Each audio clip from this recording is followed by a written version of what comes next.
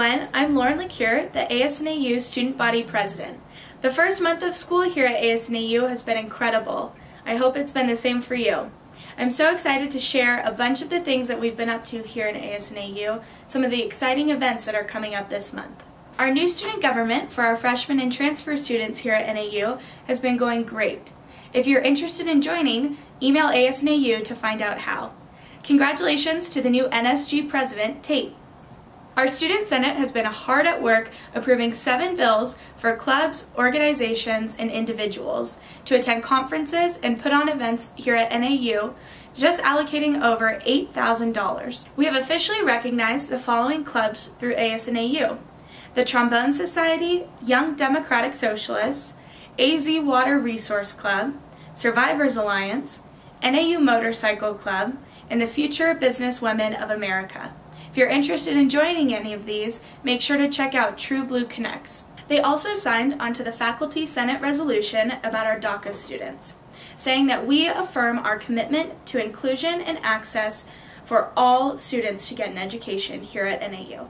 We are working on finding outstanding students to apply to be NAU's next student regent. This prestigious role is one that serves on the Arizona Board of Regents. They will take part in legislative, financial, and governance duties as a member of the board. If you're interested, check the weekly email for a packet and turn it in by October 30th to the ASNAU office.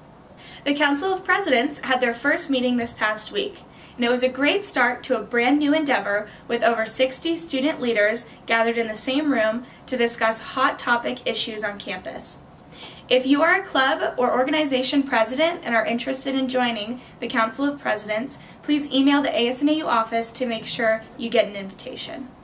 This past week, during the Arizona Board of Regents meeting, I spoke during Call to the Audience about our DACA students and about our pledge program, which garnered over 1,500 signatures thanking President Cheng and the Regents for keeping in our four years locked-in tuition rate.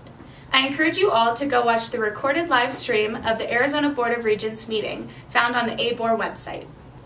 ASNAU is getting prepared to open our royalty packets, so make sure to swing by the ASNAU office to pick up one and start petitioning to be our next homecoming royalty.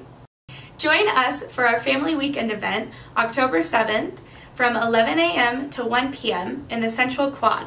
Make sure to look out for the ASNAU weekly email with information about Self-Care Awareness Week coming up on October 16th. Join us for yoga and meditation and a hot cup of tea to relax right before midterms.